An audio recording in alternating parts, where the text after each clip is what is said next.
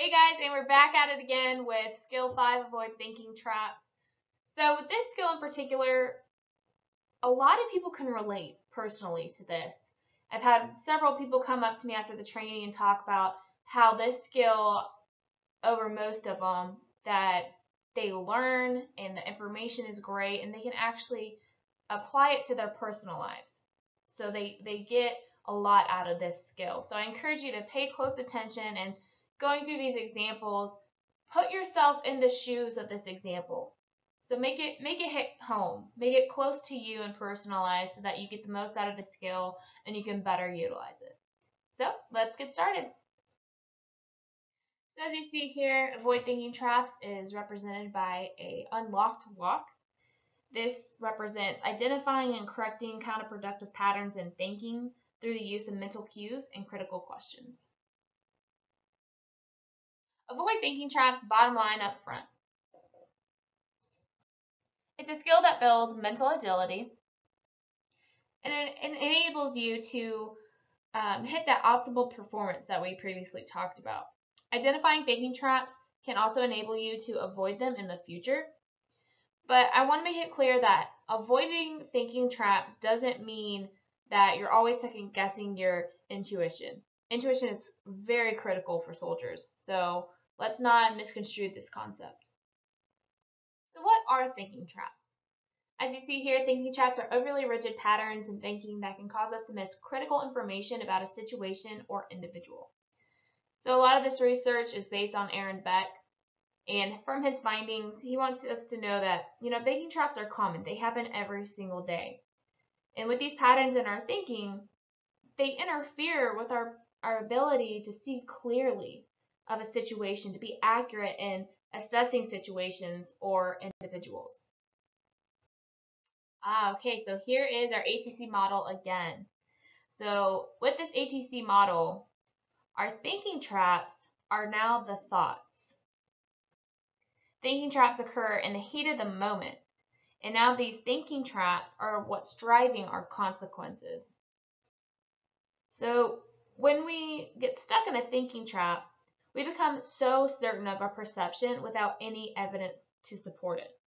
So it's critical to enhance resilience and performance and building strong relationships by actively working to, to change the thinking traps that we fall into. And as you can see here, there are six thinking traps listed under thoughts, and we will later dive into what each of those are and an example of them. Okay, so now what I want you to do when I say go is pause this video, same old, same old routine, and we are going to go watch the Paul Potts clip under Avoid Thinking Traps. Now while you watch this video, it is from America's Got Talent. Um, I want you to focus on the judge Amanda, the female judge, and think about what was her initial thought about Paul Potts and as well as the other judges. What were their general reactions and beliefs about this man? And did it change by the end of the clip? What was Amanda's more general idea? And she gives us away by some of the comments that are made, specifically by her. So let's go ahead and pause this video and watch that clip. Okay, so welcome back. Let's talk about the video. So a lot of people, or majority of people, will agree that Amanda's specific initial thought about Paul Potts changed by the end of the video. Well, come to find out, Amanda's general belief actually got cut out of the video. Uh, either, I don't know the reason, maybe Paul Potts got too offended or the media just uh, clipped it down. But in the beginning, somewhere there, Amanda's general belief is stated that people with blue collar jobs who look like that, like Paul Potts, cannot sing opera.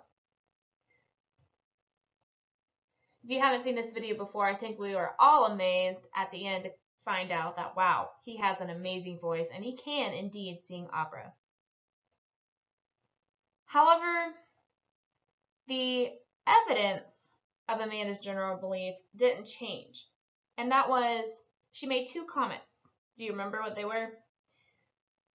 It was one that he is a lump of coal turning into a diamond. And the second comment was, he was a frog that will turn into a prince. Finding an exception to the rule doesn't necessarily mean that the underlying belief has changed. Sometimes we find it's hard to change your beliefs, and the stronger the belief, the harder it is to change it. Just like the beliefs, that's what thinking traps are. They're difficult to change because, like the beliefs, they're strong patterns in how we think. So let's take a look at the thinking traps. Okay, so we're going to go over the first thinking trap, and here's an example of this thinking trap. You've called home several times during deployment and haven't been able to reach your spouse. You think to yourself, she's, my wife is, out running around on me. What do you think this thinking trap could be? This person is jumping to conclusions. The definition of jumping to conclusions is believing one is certain about a situation despite having little or no evidence to support it. The key words here are certain, little, or no evidence. Jumping to conclusions can lead to a variety of consequences, including emotions in sadness, anger, and even guilt. So, for example, the soldier in the scenario might have the emotion of anger and the reaction of leaving a heated phone message for his wife, and you can't you can't take those back. This thinking trap causes us to be very impulsive in our emotions and reactions. This thinking trap in particular undermines resilience and the effectiveness it has, and our overall well being by keeping us from seeing the situation accurately. The key takeaway for jumping to conclusions is it is the mother of all thinking traps, which means that all thinking traps are some form of jumping to conclusions. So that's why we teach this one first. Thinking trap number two. Here's the example. You call home to talk to your young son, and he's distracted by the cartoons on the TV. You think, oh, he's mad at me for being away. This thinking trap? Mind reading. Mind reading is where we assume that you know what the other person is thinking, or you expect another person to know what you're thinking. Is anyone else guilty of this? I know I am. Be honest with yourself. So the key words here is assume and expecting. Mind reading can lead to emotions just like jumping to conclusions, such as sadness, anger, and guilt. So for this example, the individual in this scenario might have the emotion of sadness and the reaction of calling his or son, or excuse me, his or her son less in the future. This thinking trap prevents effective communication. This thinking trap is commonly found in very close relationships. And like I said in the beginning, put yourself in this scenario. Does something like this happen to you often, or has it happened in the past?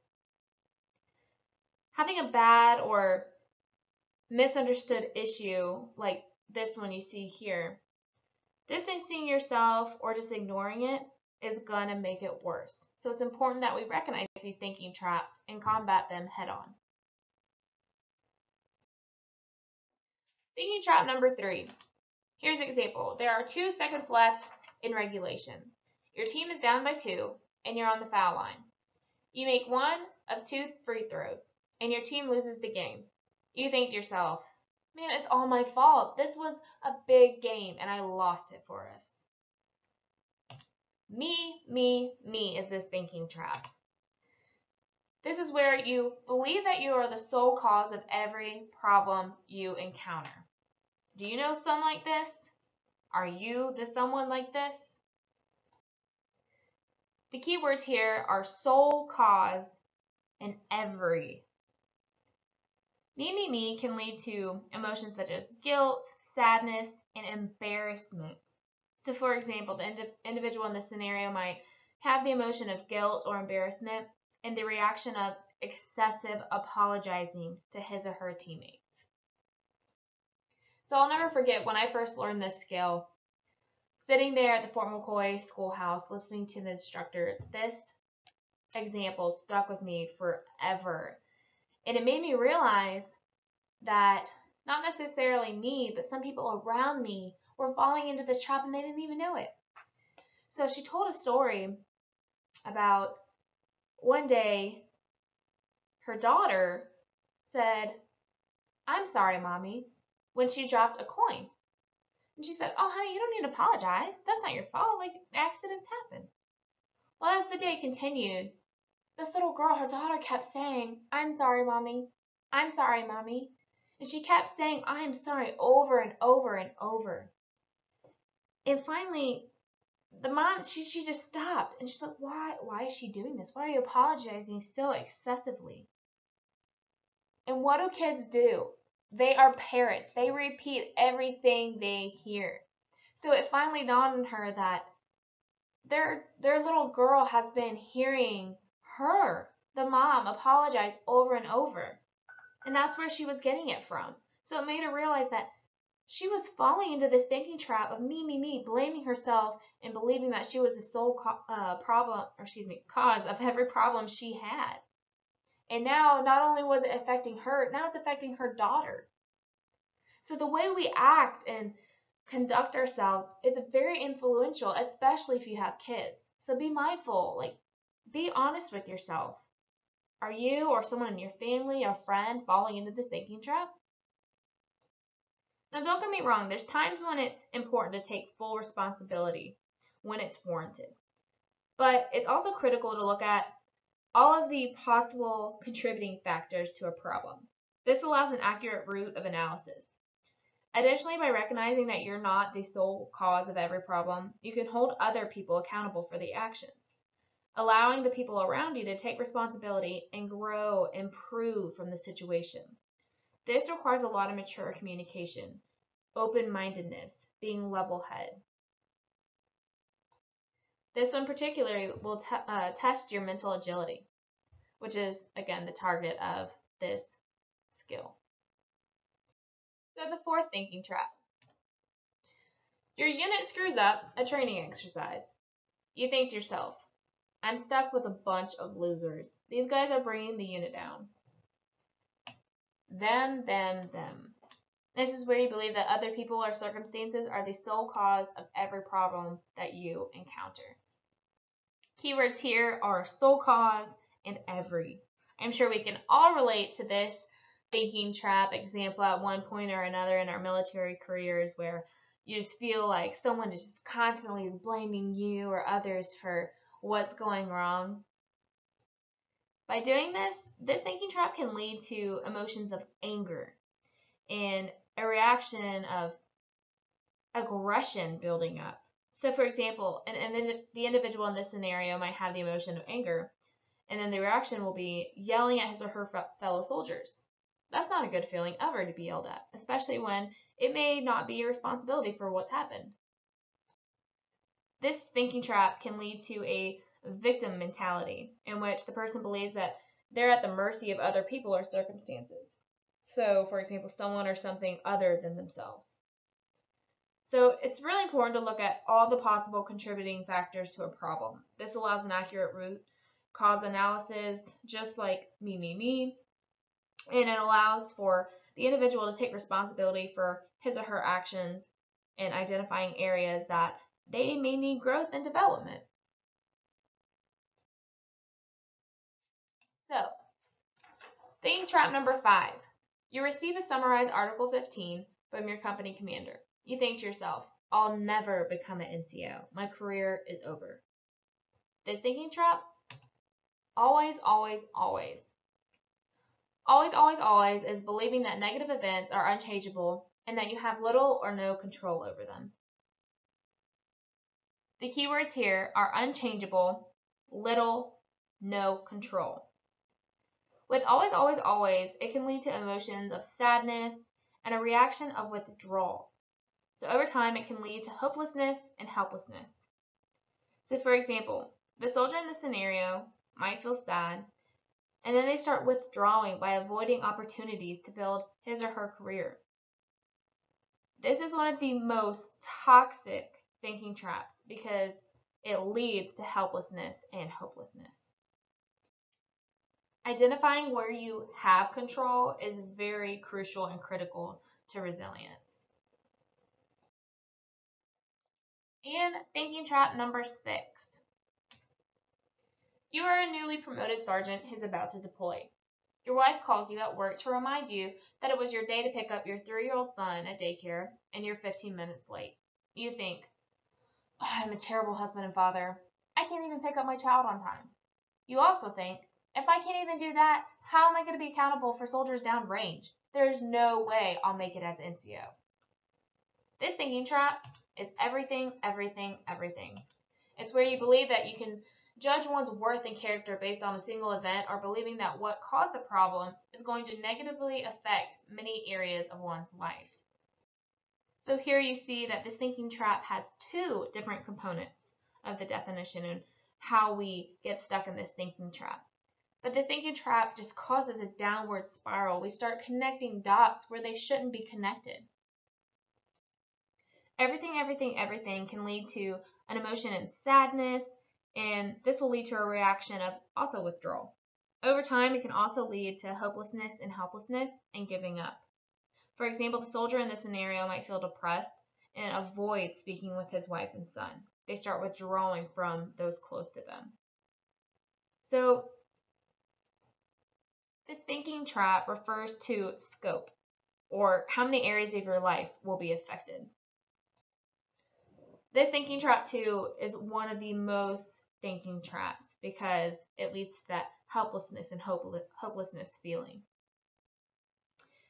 By judging a person's worth based on a single event or character assassination limits one's ability to target behavior to affect change.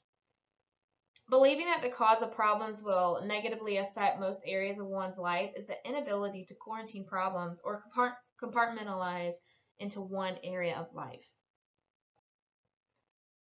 So just to review, these are the most two toxic thinking traps because it leads to helplessness and hopelessness.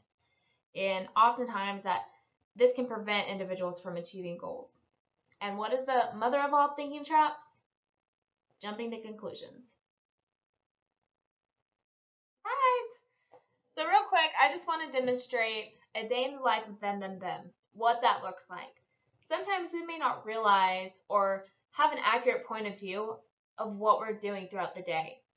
A lot of times, these thinking traps dictate and determine how we perceive and interpret the events. So, what I'm going to do is I'm going to play out a day in the life of them, them, them from morning to night and what that'll look like. I have two cards. A yellow will, will represent a positive, more optimistic way of thinking. And then I have a pink card that's going to represent the them, them, them thinking trap. So, let's do this. So I wake up in the morning, about to leave for work, and I find that my spouse has parked me in. I could think to myself, I forgot to tell him I had to leave early. Or, he's so inconsiderate. I can't believe he didn't make the extra effort to move his car last night for me. So I'm driving to work and I almost collide with another car. I can think, I need to pay more attention. Or, man, that's that guy's fault. He's a jerk. He needs to learn how to drive. So I finally get to work, pull up to the gate. There is a huge line. I can think, should have left earlier. Or, man, those stupid guards, they're just rented cops. They like to take their time and show their power and talk to people. After I get through the gate, I show up to PT late, and another sergeant comes up to me and says, Nice of you to show up. I could think, man, I deserve that. There's no excuse for being late. Or I could always writing me, trying to call me out, make me look bad. Then, in first formation, I find out that I have to stay late tonight. I can think to myself, well, the work does have to get done. Or, man, this leadership sucks. They're just picking on me. And finally, I'm leaving post, and then my spouse calls, and he asks if I could pick up some milk. I could say to myself, he's had a rough day. I could probably earn some brownie points. I'll get the milk. Or he can't pick up the milk himself. I have to do everything. So then I continue on, drive home, get the milk, walk into the door, and then my spouse asks me, How was my day? How was my day? I had to pick up your milk. I had to stay late for work, the leadership sucks. I was late by, uh, to PT, and the first sergeant just tries to call me out in front of everybody, making me look like I'm the bad guy. I get to the gate, the rent-a-cops are just taking too long. They're in my way, need to move. Another guy just can't drive, almost hit me, causing a wreck. And then you, you parked me in. How inconsiderate of you. It's a them, them, them mentality that's gonna wear us down, our relationships. Because with all of these scenarios, I didn't take the time to look into them and pick out what am I responsible for. I just want to blame everybody else for my problems. As you saw, I collected all those them, them, them thoughts. And I, I carried those with me throughout the whole entire day. And those are negative thoughts almost. And it, it becomes unattractive. It starts weighing us down. Do you think that people really want to be around that? Think about, I mean, that's just one day, one, one example. Think about how many negative thoughts like that start to bury us through the week, a month, a year. So over time, these thinking traps become set patterns and influence the way how we remember experiences. So if I were to look back on that day, I'm like, yeah, that's a bad day. Why? It's because my thinking trap had me interpret it, interpret it very negatively. So just like this thinking trap, over time, these thinking traps further reinforce our beliefs. Remember going back to the beliefs with the Paul Potts video, because they drive us to interpret events in a way that supports our belief. So, for example, with them, them, them, a thinker interprets the events in a way that strengthens our beliefs that we're not the sole cause of every problem, it's everybody else. So, this thinking trap in particular, as well as all the thinking traps, it can cause us to miss out on critical information. It can cause us to be inflexible, leading to inaccurate information and just limiting our effectiveness from day to day tasks and activities, communication. And just like them, them, them, the other thinking traps, uh, always, always, always, and everything, everything, everything, individuals stuck in these traps go through a similar process, which also reinforces their beliefs as well. Don't fall into the traps. We can do this by avoiding the thinking traps by identifying patterns that we fall into, remembering mental cues, and asking critical questions to identify important information that you may miss. Mental cues are words or phrases you say to yourself that remind you what you need to do to get out of that thinking trap. Critical questions retrain your brain to notice important information you missed in the heat of the moment so that you can be flexible, accurate, and thorough. We call this FAT, flexible, accurate, and thorough. So here you see we've listed out the mental cues and the critical questions for each thinking trap. So for jumping to conclusions, the mental cue, slow down. Critical questions, what is the evidence for and against my thoughts? Mind reading. Mental cue. Speak up. Critical question. Did I express myself? Did I ask for information? Me, me, me. Mental cue is look outward. Critical question. How did others in other circumstances contribute? And if you want to, guys, take notes of this because um, you'll will uh, need this on your assessment. For then, then, them. Mental cue is look inward. Critical question, how did I contribute? Always, always, always. Mental cue is grab control. Critical question, what's changeable? What can I control? And everything, everything, everything. Mental cue is get specific. Critical question is what is the specific behavior that explains the situation? What specific area of my life will be affected? So here are the key principles for thinking traps. Know they're common. It's common to fall into a thinking trap, especially when you're stressed. They narrow our field of vision. They often lead us to miss out on important key information. Notice patterns. What are the patterns in the traps that you personally fall into?